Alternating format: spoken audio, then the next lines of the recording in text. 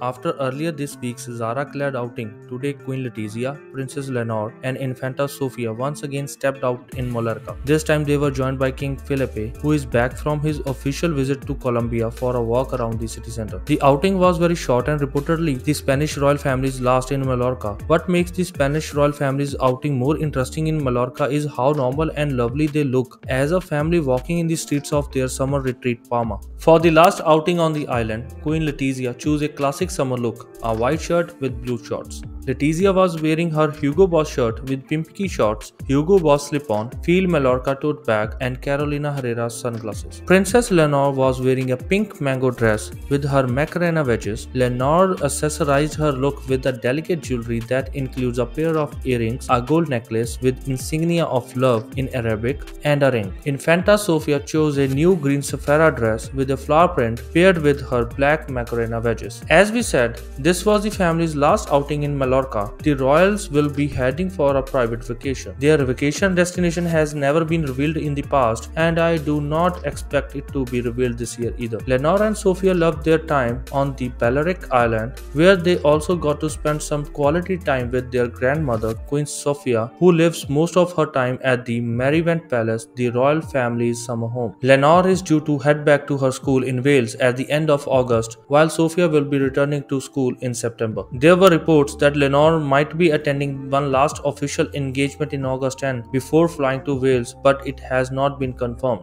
If not, we will definitely see her in October at the annual Princess of Asturias Awards. King Felipe and Queen Letizia will be back to royal duties in the first week of September. The royal couple usually has a very busy calendar from September to mid-December and we are not expecting anything otherwise this year. In September, Queen Letizia is marking a personal milestone and will be celebrating her 50th birthday on the September 15th. Palace has not announced anything special yet, but we might be in for surprise next month. I will be back with more royal news. If you found the video interesting, please subscribe to the channel, press the like and share button below. Stay tuned.